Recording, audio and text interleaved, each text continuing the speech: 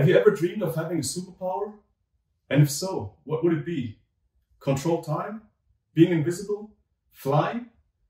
Well, I can definitely not teach you how to fly, but I can tell you where you can find a magic cape that allows you to become invisible, be able to pass through enemies and spikes without receiving any damage, that allows you to bounce back and gives you the self-confidence to believe in yourself when no one else does.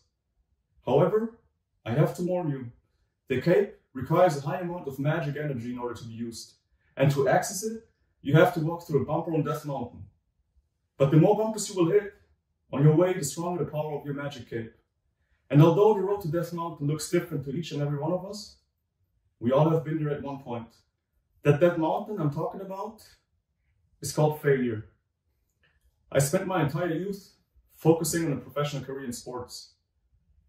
Since the age of six, I played both handball and football simultaneously.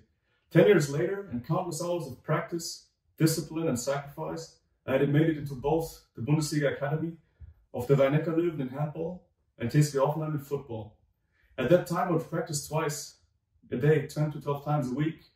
I knew that at that point, I needed to decide in favor of one sport if I wanted to make the next step in my career. So I decided that I'd stop playing handball right after my final appearance for the youth national team of Germany in April 2007. Unfortunately, I waited so long with my decision that others went ahead and took it for me. So just when I quit the promising career in handball, Hoffenheim actually told me that they no longer planned with me for the following season, as others had surpassed me. And with that day began a four-year-long odyssey of failure, or what I would later describe in a TED Talk as my journey of collecting as many bumpers as I could to create the strongest imaginable magic cape. First, I moved to the Bundesliga Academy of Karlsruhe, only to be released after one single season, while eight of my teammates went on to play in the first and second Bundesliga. Through a friend of mine, I received the opportunity to go on a trial with Scottish Premier League club Dundee United, but although their staff told me that I had done very well, the expected transfer actually never came through. So I ended up at Dynamo Dresden in the third division, where I was told that I'd get a chance to prove myself through good performances in their under 23 squad. Unfortunately, only four weeks into the season, the head coach, who was a fan of mine and who was one of the reasons why I decided to take on the risk, was fired. That was a huge setback, but I was still hopeful that this would be my breakthrough season. My hopes were even bigger when in October 2010, I gave my debut for the national team of my fatherland, Madagascar, during the African Nations Cup qualifier against Nigeria in front of 50,000 fans. I played well, almost scored, and even had the chance to switch my jersey with John Obi Mikel, was back then playing for Chelsea.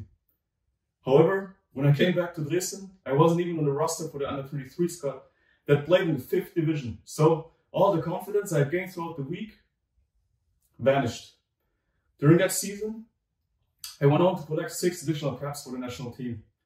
And every time I would travel to the London 2012 Olympic qualifiers, for instance, against Algeria, my confidence would skyrocket. But all the time I got back to Dresden, I felt like I wasn't being taken seriously because, well, it was Madagascar and not Spain, Brazil, or Italy. And that actually led me to believe that I wasn't good enough. I started doubting myself and I asked myself, are they right or am I right? And these constant negative inter internal conversations in my mind led me to actually make simple and stupid mistakes on the field, which ultimately justified why I didn't get a shot to play. That winter, after a tournament in South Africa, however, I received a phone call from FC Lorient, a League One club in France. One of their scouts had been seeing me play with the national team and invited me to a four-day tryout. So I flew out to France and thought I was finally getting my redemption. But yet again, although the manager told me that he was very happy with my performances during the week, the club decided not to acquire me because I hadn't played much in Germany. Now, just for perspective, that year Kevin Gameiro, their number one forward, moved to Paris Saint-Germain for 11 million euros. And their number two forward, Morgan Amalfitano, transferred to Marseille for 6.5 million euro. And I? I stayed in Dresden for another season where I wouldn't play a single second. But now, on top of the self-doubts and negative thought pattern I had developed during that time, I also suffered a knee injury, which ruled me out for six months. So if you think about the bumpers, you might think, by now I should have collected them all, right? But the truth is, that was just the beginning. Because what's worse than having a club and not playing? Right, it's not having a club and not playing. So out of contract, out of options, and only 20 years of age, I decided to join a training camp for pro- professional players without work, which was organized by the German Players Union. You can think of it as a boot camp where professional players from the first to the fourth division fight over a chance for a new contract. Or football's version of I'm a celebrity, get me out of here. So if rock bottom is here, I was here. But that acknowledgement, that being real to myself, that I had to start all over again, actually felt liberating. So looking back, I would say the camp was actually a blessing in disguise. And I had the chance to get fit again and practice with several former Bundesliga players that helped me regain my confidence because I saw that I was capable to compete on that level. And my coaches would tell me that I had everything to become a top player, but I would just need to be patient and wait for my shot. I had regained faith in myself. In the last week of camp, that resilience I had developed seemed to pay off as my agent called me and told me, Tony, I've got great news. You're invited for a trial. This time with the under 23 team of Bundesliga side SF to Nuremberg. And I remember it as if it was yesterday. I got my confidence back. I was fit. I was crushing it during practice. Their coach told me that I was the fittest player they had seen in years and that they would love to acquire me, but needed to wait for another forward to leave the club. So I waited and waited and waited until the last day of transfer window and nothing happened. That meant I was out of contract. I didn't have a club. I didn't have a salary. But the worst was that I didn't see a reason anymore to keep fighting. I had failed so many times, it couldn't be a coincidence that every time I felt close to achieving my goal, I failed again.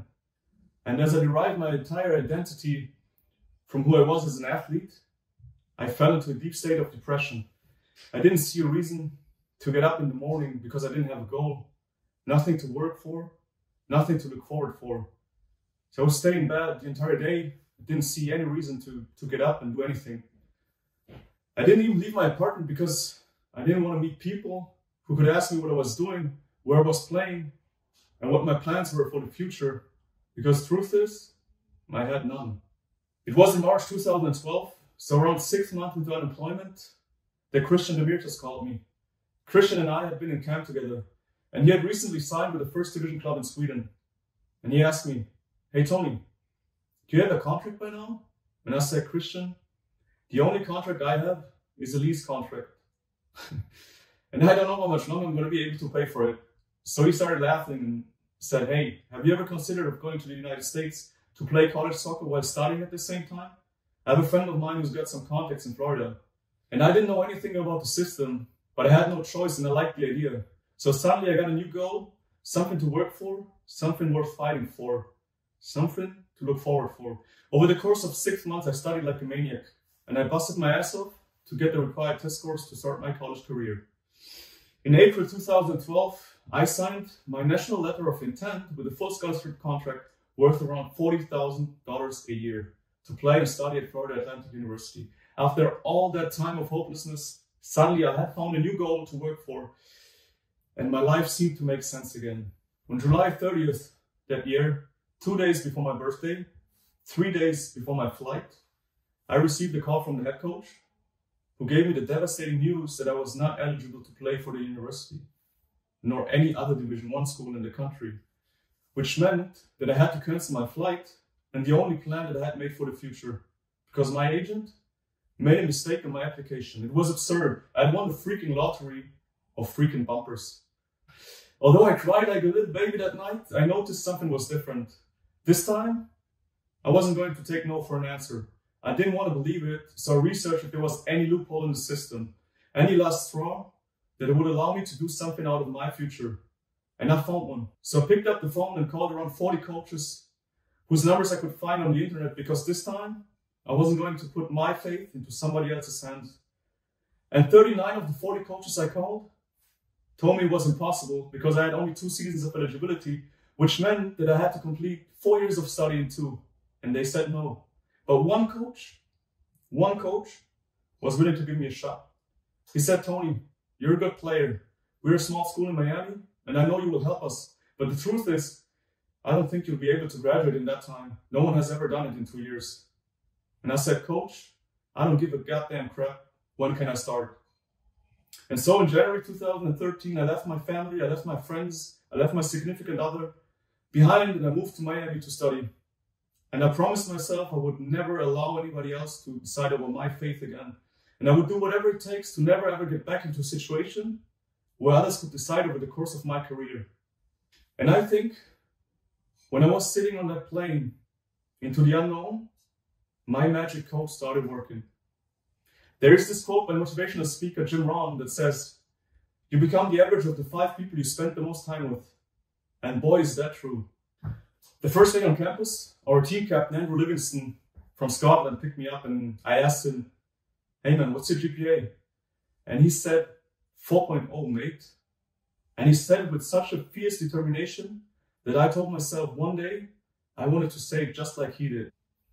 The second person that would have a deep impact on my journey was Edwin Mesa. Edwin was from Mexico and he was obsessed with being successful. He was by far the most determined person I've ever seen in my life.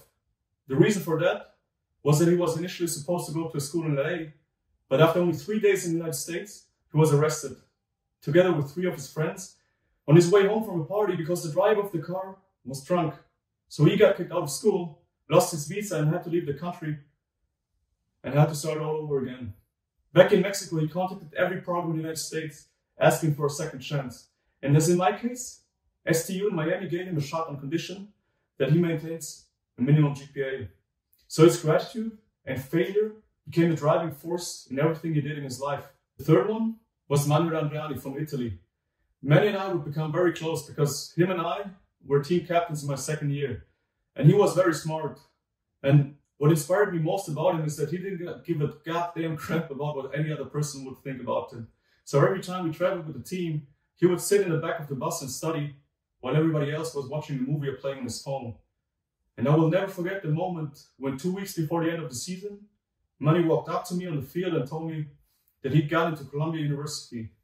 It was hilarious. We were standing in the middle of the field hugging each other with tears in our eyes. I was so proud of him because Columbia University was something that I only knew from the movies. And to know somebody in person who studied at one of the best schools in the world was mind blowing to me.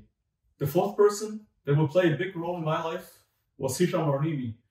Hitch would become my closest friend, and in fact, we still talk almost every day. He was from Sweden, and when he started college, his grades were so poor that he had to go to a junior college in San Francisco. And in California, he became obsessed with the startup world. And he would tell me all these stories about Silicon Valley, entrepreneurship, and that he would rather hustle 24 7 than slave from 9 to 5. Last but not least, Nachete Mateos. Nacho was a senior from Spain who had played for Valladolid when he was younger. He was very smart, articulate, and very passionate. But Nacho couldn't function if he didn't take a siesta during the day. So he actually taught me that balance is the key to success in life. Fast forward two and a half years, I completely altered my perception and changed my idea of life.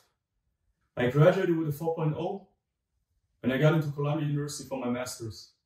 Little did I know that an Ivy League education comes with a 200k price tag. I knew that it was going to be impossible for my family to come up with such funding, but I had learned throughout my journey that when there is a will, there is a way. So I put on my magic cape and I asked the president of my school for an appointment. And he asked me, How can I help you? And I told him, I've got good news and I've got bad news. Well, then tell me the good news first, he said. So I took out my acceptance letter and put it on his desk. And he looked at me and said, Well, that's fantastic. Congratulations, but what's the bad news? And I said, I don't know how to pay for it. And he looked at me and said, Well, that's unfortunate, but what what's that got to do with me? So I said, Well, I was thinking, we are a very small school that basically no one outside of Miami has ever heard of. Our tuition is around 45k per year. Why don't you use my story of how this school turns average students into Ivy League candidates as marketing material? And if you only have two students on the planet that decide to come to this school because of my story, you have your return on investment. and he looked at me and he said, and I will never forget this, and it's the truth. Tony, you're a goddamn fucking smart son of a bitch. and that part of the story becomes even funnier if you know that our president was actually a Catholic priest. So not even three years after being flushed out of the system and having no freaking clue what I was ever going to do with my life, I moved from Miami to New York City to study at one of the best schools in the world. And the first day of class, our professor told us, look around you. What I want you to understand is that the people you meet here are going to change the course of your life. I want you to understand that you are currently sitting in a seat that may have belonged to Barack Obama or Warren Buffett. And when they left this place, they went on to change the world. Well, I may have not changed the world, but that experience definitely changed my world. So when I moved back to Miami, I went on to launch a sports agency to help rejected yet highly talented players that may find themselves in a similar situation as I was in discover alternative career pathways at American colleges and universities, but most importantly, to teach them the principle of never ever giving up on themselves and to teach them that every single bumper they meet in their life may just be the solution to find the magic cape. And the magic cape would later allow me to work with Wasserman, the world's second most valuable sports agency, which eventually put me back on the map of the professional sports world. Today, Almost exactly eight years after I embarked on a journey into the unknown, I am back at my youth club TSG Hoffenheim, where I do now run the internationalization department. And apart from the fact that I get to work with really smart people that not only share the same values and belief system, what strikes me the most is that I do now have the chance to do my part to change the system for the better from the inside out. So the next time you walk through a bumper, remember that it might be the gateway to your magic code. We think of failure and success as opposites, when in reality, failure is part of success. Failure is an opportunity. It's an opportunity to evaluate how much we want something, or maybe don't really want it. If we're beaten down, if we've worked as hard as we can, if we've done everything we should, and it still doesn't work out, that's when we have to go back to the why of it. And that why is what makes the difference between those that are becoming masters of their destiny and those that will become victims of their history. Thank you.